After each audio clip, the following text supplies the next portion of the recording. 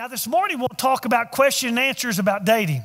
There was a great article, I think Rick Warren wrote it, that I just read this past week. And he was talking about unchurched people. And he said, kind of the new climate in the world. And one of the things he said in that article was 43% of the couples in churches are, are, are families in churches now are blended families.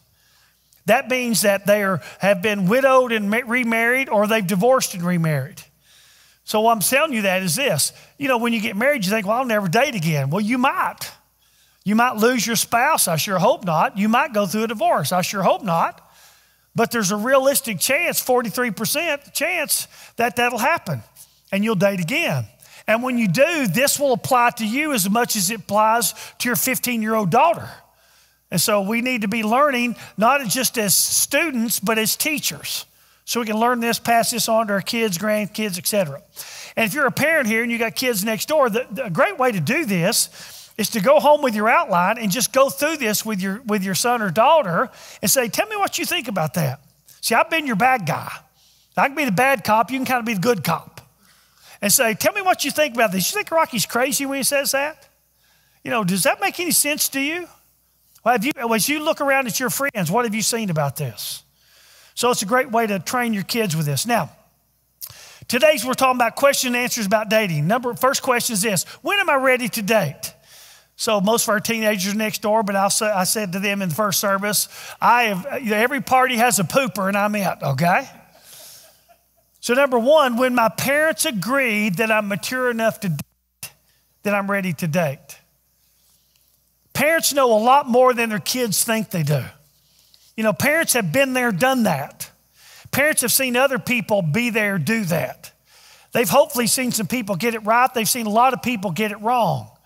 Parents have a good sense of, of a guy. A dad can probably read a guy way better than his daughter can.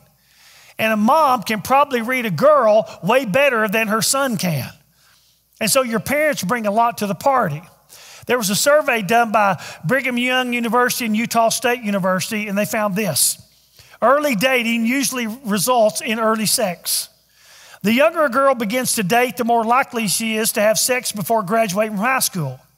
It's also true of girls and boys who go steady in the ninth grade. Of girls who began dating at 12, hello, 91% had sex before graduation compared to 56% who dated at 13. So, see the drop in just one year of maturity. 53% who dated at 14, 40% who dated at 15, and 20% who dated at 16. Of boys with a ninth grade steady, 70% said they'd had sex compared to 60% of girls. Of boys who date occasionally as freshmen, 52% compared to 35% of girls.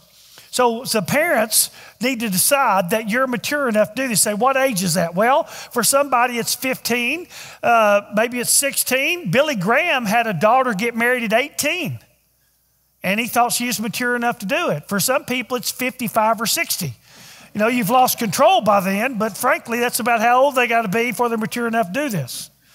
Number two, I'm ready to date when I realize the seriousness of dating.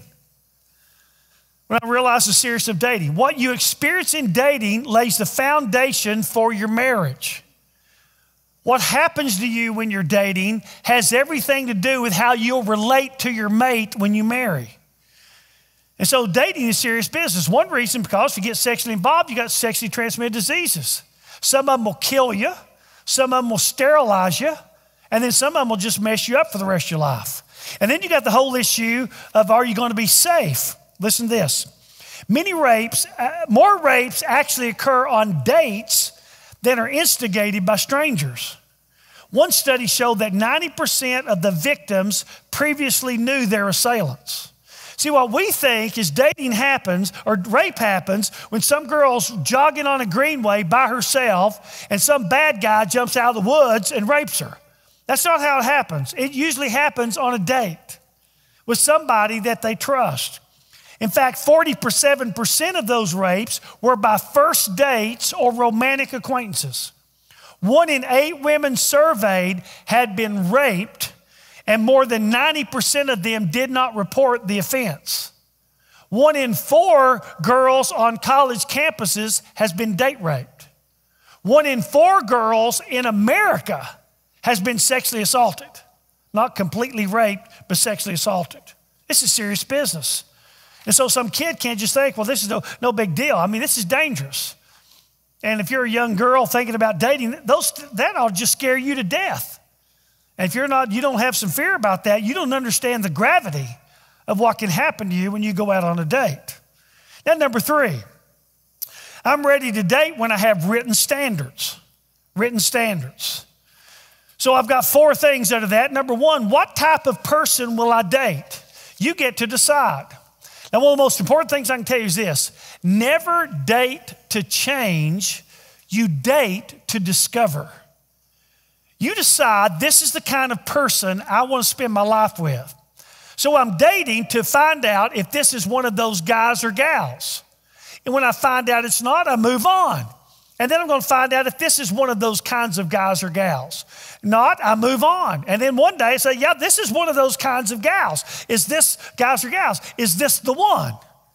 So you date to discover. You never date to change because you'll think you'll change somebody or you'll think they'll change once they get gold on their finger and they do, well they do change they get worse i heard this years ago about fell out of my chair I, almost, I might fall off the stage when i tell it to you okay a woman marries a man expecting him to change and he doesn't a man marries a woman expecting her not to change and she does now you can go to the bank on that i'll give you something to punch your, punch your wife with about or your husband this afternoon over, you know? I'm not recommending you do that. But that's the truth. Women think that these men will fall under the spell of their love, and then these bad guy, bad boys will become like Jesus. No, never marry a crocodile expecting him or her to become a teddy bear. Don't do that. So, what type of person you going to date? Well, obviously, you're a Christian, it ought to be a Christian. And if you're a committed Christian, it ought to be a committed Christian. You shouldn't settle for somebody just wants to go to church. Honesty ought to be a big deal. What about their work ethic? I told the, the high school kids, you have some kid who, I don't care much about grades. He's going to be a bore. You know, you're going to be spend a lot of time talking over the years. You want somebody who's got a little bit going on up there. So, uh, are they interesting? Are they mannerly? Uh, are they trustworthy? Are they kind? How do they treat people like waitresses and other people? That'll tell you the real kind of person they are. How they treat people who are kind of beneath them. That'll tell you a lot. Are they respectful? How do they treat their parents and what do they say about their parents when their parents aren't there? See, what you say about other people says more about you than does people you talk about. And so you find out about them there. Uh, are, they, are they other centered or self centered? Are they servants? What kind of maturity do they show? What's it take to get them angry? What do they do with their anger? You can, you can set this bar anywhere you want to put it. You can decide, I'll only marry bald headed men, or I'll only marry men with hair on their face. You know, one of my deals was I did not want to wear, or I did not want to date or marry a hairy underarmed or hairy legged woman. I just didn't want to do it. Now, you can date that person if you want to, but I didn't want to do it. You can do what you want with body art, piercings, all those kinds of things.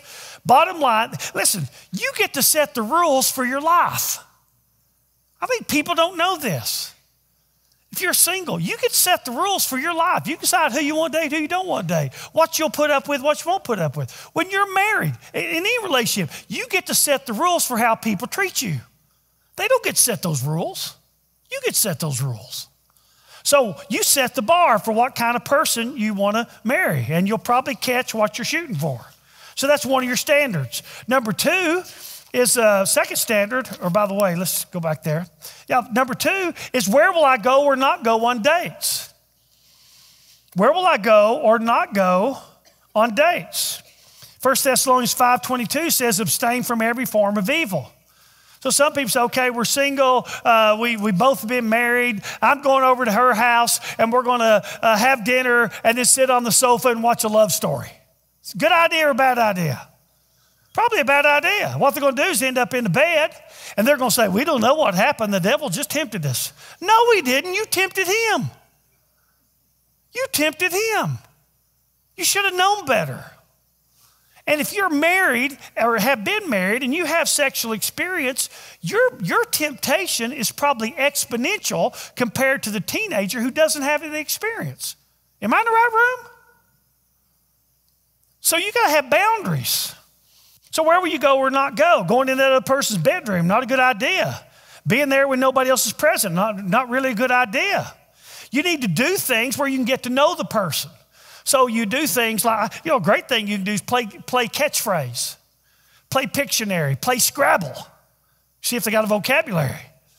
Talk, get questions and ask questions. You know, do things where you're actually getting to know them. You can go sit and watch a movie or go to a ball game. Boy, he sure gets mad at the refs. Hello. Do something where you can actually get to know the person. So you got to decide what, what you're going to do with that. And then number three is what will your physical standards be? Your physical standards. In other words, how far will you go? All the way, quote, unquote. Just short of that. Seeing what you ought not see, touching what you ought not touch, making out, short kissing, laying down, sitting in, sitting in somebody's lap. What are you going to do with all that? Now, here's the deal when I was at UT in economics, I learned the law of diminishing returns. So here you're dating, and, uh, and uh, you haven't done anything. You've just been going out, behaving yourself. And then one day you hold her hand. Oh, man, they're the electricity. I mean, your palm gets sweaty, your heart's beating. This is great. For about two dates. And then you got to have a little more, don't you? That's kind of lost its zing. So now you got to put your arm around each other. And that's great for a while. Then loses zing. Then you got to kiss. And that's great for a while. Then it starts losing zing. And you got to do a little bit more and a little bit more and a little bit more. It's a slippery slope. Now, we've talked in this series about this is, should be a Christian brother or sister. This is likely somebody else's husband or wife. And you need to treat them that way. You need to treat them how you're hoping somebody's treating the guy or girl you're going to marry. If you're some girl, do you want some uh, guy out there that you're going to marry being seduced by some girl? Answer. What? No. If you're some guy and you, you, you, you want some girl, guy out there using the girl you're going to be married to?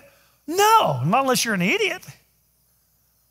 Well, what right do you have to expect your uh, mate to be treated well when you don't treat other people well? You need to treat them like a brother or sister in Christ. I don't know about you, but I, I never kissed my sister on the mouth. Ooh.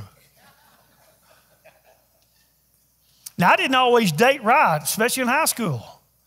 But I eventually started figuring this out, started following the Lord, started studying relationships, started thinking about this. So I decided, you know, I ought to treat a person like a sister until I'm engaged to them. So there were girls I dated for months and months, and the, in the heat of passion, we held hands. So I, I, decided I wouldn't kiss a girl till I was engaged. Uh, this girl that I dated, I think I told you about her, that she's from New Orleans. And I wrote her dad a letter asking permission to date her and told him that I, this was my standard and that I would never kiss her without, uh, unless we were engaged. Well, when she found out about the letter, her dad said, I don't know who this guy is, but marry him. Okay? Marry him. Well, we didn't get married, but uh, that's, that's what we did. Explains why I got engaged to Betsy after nine days, but that's another story. True story. Some guys in the first service come up and said, Tell us about you, how you got engaged in nine days. So I don't have time for that now, but we literally were engaged in nine days. But I dated lots of girls I never kissed. One guy, in fact, the guy who married this girl, Liz, at the wedding, I told him, if you treat her half as well as I do, you'll be, did, you'll be a great husband.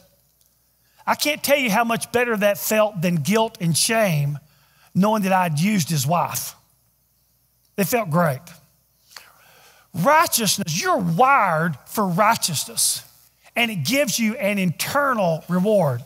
Had, uh, had breakfast with uh, a guy in our church who's, who's struggled with addiction. He's clean now.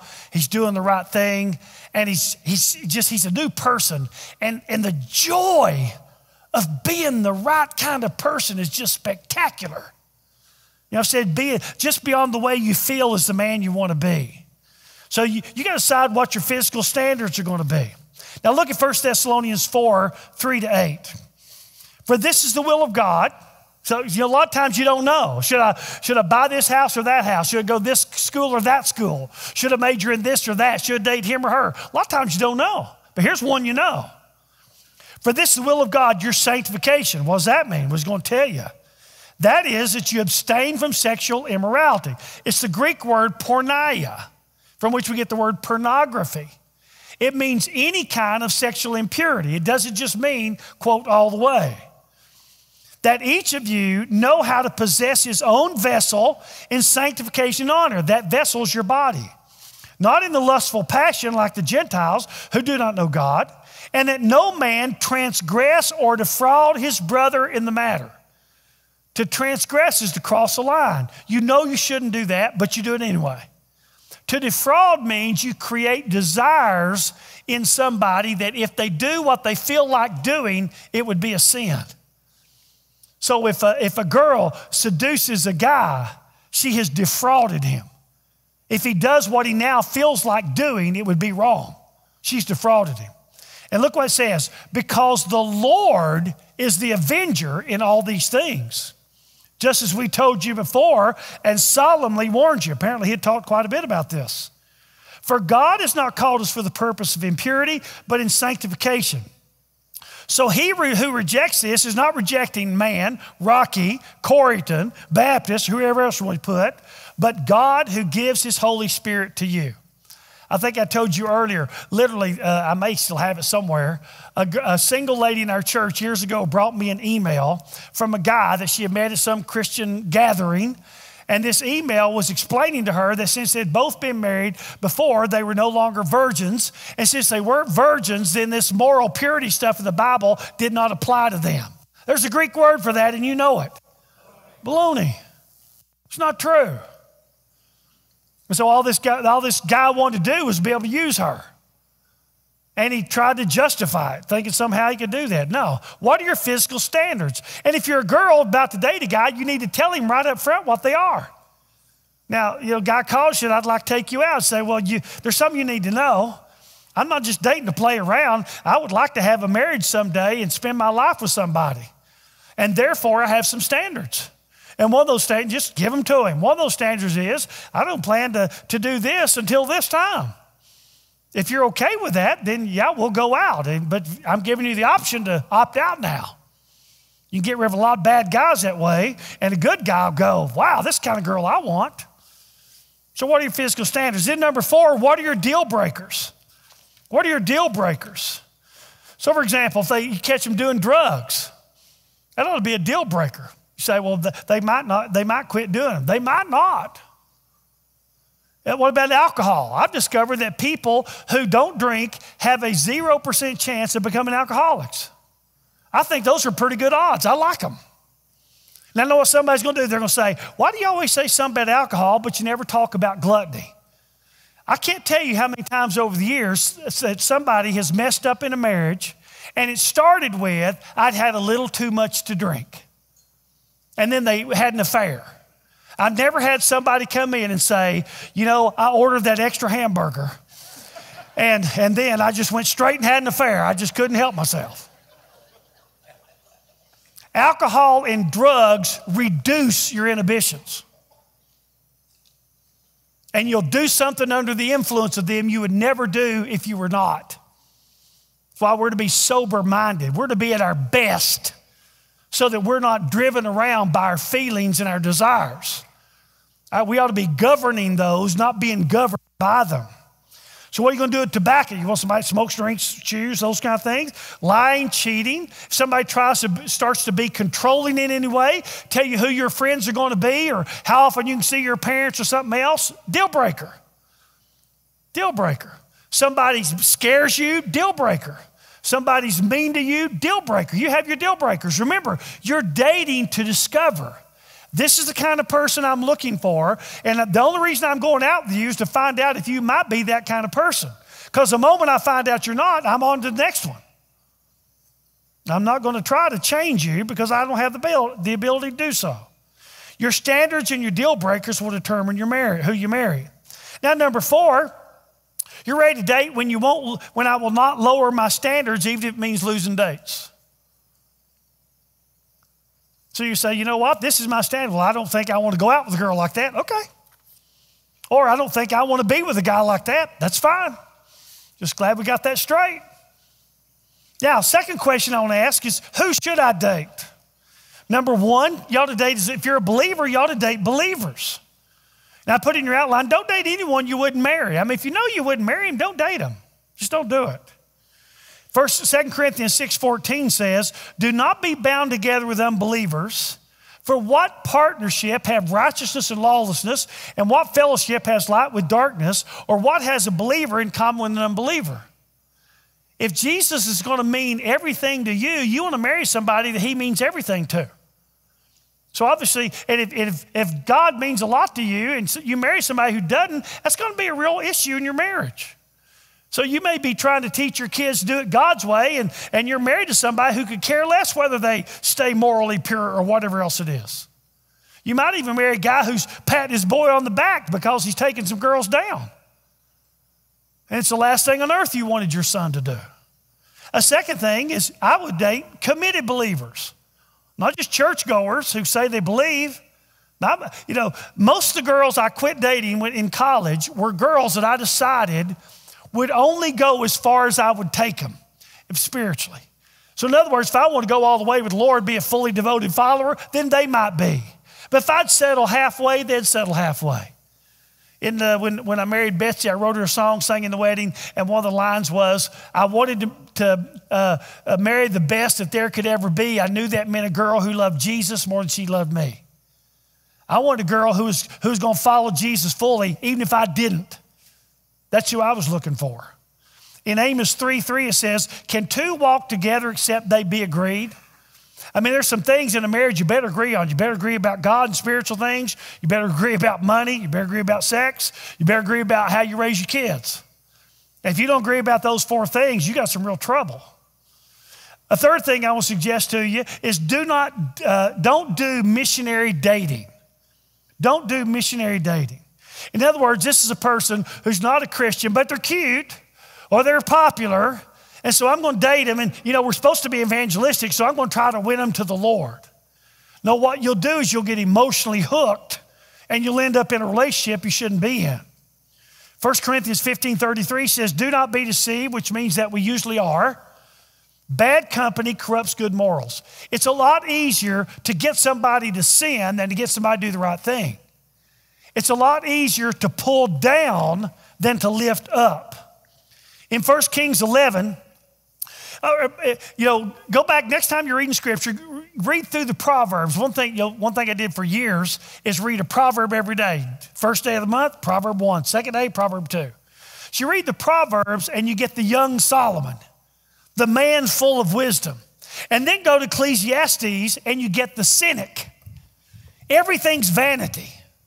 Everything's vanity. What happened between Proverbs and Ecclesiastes? Solomon married women. He reads second or first Kings 11, 1 to 6. He marries all these women. He marries foreign women who, who served other gods. And it says that the women turned his heart against the Lord and he did evil inside the Lord. It's easier to pull down than to pull up. If you marry some bad guy or gal, it's more likely they'll tarnish you than you'll shine them. Then the third question, last question. What should I avoid when dating? Number one, avoid settings that are conducive to immorality. Just don't do it. Ephesians 4:27. Do not give the devil an opportunity. I know people who claim to be Christians who go on vacations together and they're dating. They go on cruises together. Cruises are expensive. I'm pretty sure they're not getting separate rooms. And I'm sure some of them said, Oh, we've got the same room, but we won't be doing anything. Oh, and we won't be stupid either, will we? Okay? Yeah, you will be doing something, and you are. So, you, if you're going to be God's person, you got to draw boundaries. A good boundary is far better than willpower. The devil can pick off willpower all day long. You say, Well, I won't do it. Yeah. Whoever had an affair who started out to do that? Most everybody has one says, I never thought this would happen to me. You, guys, the enemy has been dealing with your kind and my kind for about 6,000 years. He's way smarter than you are. He's way more cunning. And you have a default sin nature that got broken in the Garden of Eden and you were born with. and he knows how to use it against you. And so that's why we've got to be, there's, the devil's a roaring lion prowling about, seeking whom he may devour. So we've got to be sober minded. We've got to be at our best. We've got to see trouble coming and avoid it, as we're told in Proverbs. So I've got to avoid any situation that's going to get me in trouble. Uh, do not give the devil an opportunity. Number two, beware of being in love with being in love. See, all kinds of people just fall in love with the idea of being in love. Everything in, in our world's a love story. Have you noticed that? I mean, I remember in college taking a girl to go see Bambi. I'd never seen Bambi. Bambi's a love story. I mean, you see a cartoon, it's a love story. What's a love story make you want to do? It makes you want to be in love.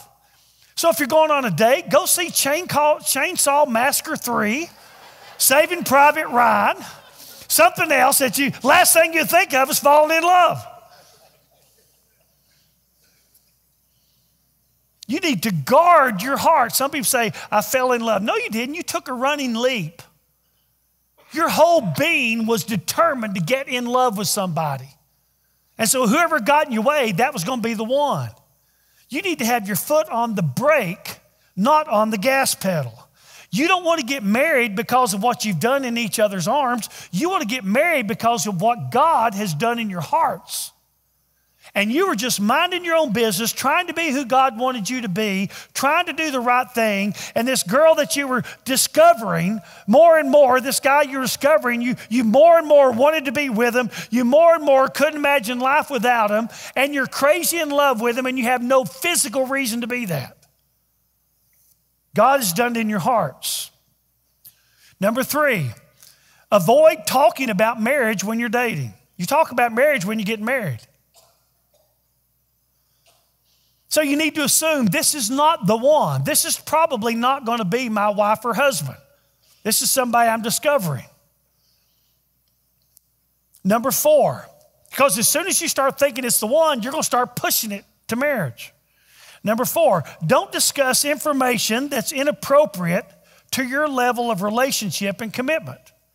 Now, you're adults, so you ought to get this. But, you know, in a marriage, there are things you might talk about, joke about, that you wouldn't do that in, when you were engaged. And there's things you might talk about, laugh about, joke about that you wouldn't do when you were dating seriously. And there's things that, that you might there that you wouldn't do if you just started dating. And you wouldn't dare have that conversation if you weren't dating. In other words, there's appropriate conversation to appropriate levels of commitments in relationship. Number five, avoid talking about the pain in your life. So here's a guy who's been married, his wife died. He meets a girl who's been married, her husband died. They go on a date. And the first date, they start talking about uh, their loss. He feels sorry for her, she feels sorry for him. He pities her, she pities him. She likes the attention of the pity, he likes the attention of the pity. They're talking about things of the heart, emotions are roaring. Feelings are go- moving quickly. No love is happening, but feelings are happening. When I was in Mississippi one night, a, a guy in the church called me, middle of the night, woke me up, and said, My wife just told me that she doesn't love me anymore. And this guy was a deacon in my church, and I just sat there and kind of took it in, said, I'm sorry, we hung up. And I laid there in bed about 10 minutes, and I called him back. I said, Let me just guess what's happened. You go to work, he drove an hour to work to Memphis. I was pastor down in Mississippi. He drove an hour to work in Memphis and back every day. And she worked there in Holly Springs at a bank. And in Holly Springs, I, I said, My guess is that she's working with a guy who's going through a divorce and, and, and he's hurting. And being a Christian, she wants to help anybody who's hurting. So he's been talking to her about his marriage falling apart. And they're talking about all these things of the heart and you've been gone, you go from work, you know, you go drive to work, you come home every day. She comes home, wants to talk to you, and you kind of push her off because you need just some time to unwind. So every day she feels pushed away by you, and every day she's feeling closer and closer to him, and she's starting to think that she's in love with him, not you. And he said, Thanks for calling and telling me that. He hung up. Five minutes later, he called back and said, Everything you said was exactly what's happened. Exactly. So, how'd you figure that out? Because it's almost always what happens. You don't talk to people of the opposite sex about their personal, especially relational problems, unless you're a professional with the biggest desk money can buy in between you. Say, aren't you being a little crazy about that? No, that's called a boundary. That's why I'm happily married for 36 and a half years and no blemishes on that one. A boundary is better than your self will. When you start talking about things of the heart, you will start feeling emotions, It's like getting physically involved. The problem is you'll feel in love, but you're not. One of the reasons that arranged marriages work is here's one you got parents who are determining these two people are good for each other. And by the way, they know a whole lot better than these two young people do. And when they get married, they're starting from scratch trying to build love. What we do in America is go out on a first date, have sex, create feelings, and then get married someday. And our goal is to sustain the feelings. And we can't do it. And so then we're not in love. You know, I mean, I love this girl. How do you know? Because of the way I feel. Well, two years later, they're back in your office. I don't love her anymore. Why? Because I don't feel the way I used to feel. They don't know the difference between love and feelings. So when you start talking about the pain in your life, sure you're going to feel close. Sure you are. That'll be something in six months, if we're still together, I'll tell you about what happened in my marriage. But until then, we're not going to talk about it. I put in your outline bond around your health, not your hurts. Bond around your health. Now, last thing, number six, don't try to rescue anyone. People have to make their own choice to change. If you marry a distressed damsel, what you get is a damsel in distress. And then you, in real estate, there's a term called the fixer upper. You heard about that one? Which usually means it's a junk house, but if you spend enough money on it, it'll be cute, okay? Well, a lot of girls date a guy like that.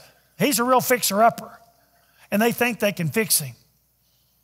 Listen, people have to make their own choice to change and your love cannot produce it. Remember, you don't date to change, you date to discover. Several years ago, uh, John Hanna, who ran RJZ for a bunch of years, he developed this leadership material and he, and he wanted to take a group through it. He asked me to be a part of it. So I was one of the people. Van Martin, an attorney in town, used to hear on the radio a lot. He was in there. Joan Cronan, uh, women's athletic director at UT, she was in there, several other people. And uh, in the course of that thing, we were talking one morning discussing, and I don't remember what I said, but John Hannah said to me, he said, Rocky, don't you believe people can change?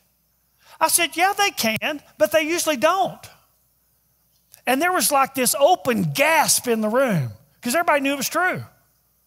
Yeah, people can change, but they usually don't. So don't count on somebody changing for the better. They might change for the worse, but not for the better. So don't try to rescue somebody that you think you're going to heal with your love. The chances are, after the marriage, they'll be worse off, not better off. You know, men can will perform. I know I've got to perform to get you to like me and love me and marry me. But now that I'm married, I don't have to perform anymore.